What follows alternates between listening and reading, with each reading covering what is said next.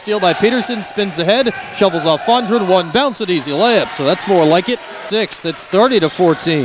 Fondren attacking right back, hesitates to the lane, to the rim, lefty floater, good. Feisty defense. Pedia pull up 15 footer, hits from the free throw line. Hands there, we're right there. You just couldn't just couldn't get the rebound. Nice offensive rebound by Chandler off a Butler miss, and her putback's good.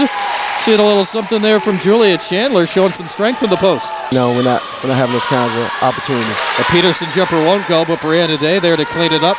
Peterson comes away with the steal. It's three on two as Phillips spaces the floor, catches, leans, and scores at the iron. Come from Morrison. Baseline right, finds Butler. Open quarter triple off the inbounds play is good, well executed. And Murray's got her second three. It's 52 36. And moving left to right. The trailer's Isabella. Transition triple, got it. Hard start to heat up a bit from the outside. Finds Butler off a curl, fakes and drives, spins to the lane, pull up 14 footer, good. Taylor, bounce pass, Fondren to the rim, layup good, and the Orange within 12 now. Peterson holds at her waist, finds Butler right wing. Butler, one bounce, kicks right forward, three ball on the way is good.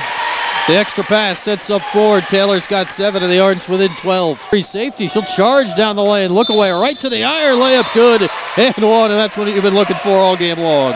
Around it out top, flips back to the corner for Brianna. She'll launch an 18 footer and connects. Day stepping back to the outside. She's got seven. Long three right wing for Butler. Good as Brianna's step back. Head knocked out her third triple. She's got an 11. Slim a three left wing, no good. Butler the rebound, a left elbow jumper is there. Phillips going one on three. She's attacking right down the lane, taking it to the 10, and a tough shot for Phillips is good. She's got six. It's down as Morrison weaves her way in the lane. Pull up 14 footer is good for Maggie. Well, your final score tonight will be Sokol Hradec Kralove 98 and Syracuse 77. The hosts opened up a 17 point lead after the first quarter and never looked back. For Coach Q, I'm Brian Higgins. That does it tonight from the Czech Republic. Thanks to everybody who tuned in here, and we'll do it again tomorrow night right here on Cuse TV on Cuse.com.